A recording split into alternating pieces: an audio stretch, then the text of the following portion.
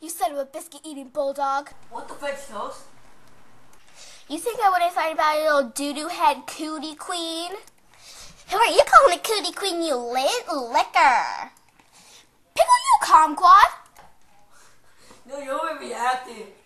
No, Phil, overreacting is when I put your convertible in a wood chipper. Stinky McStink face. Fabulous. New Orbit Raspberry Mint cleans another dirty mouth. For a good clean feeling, no matter what.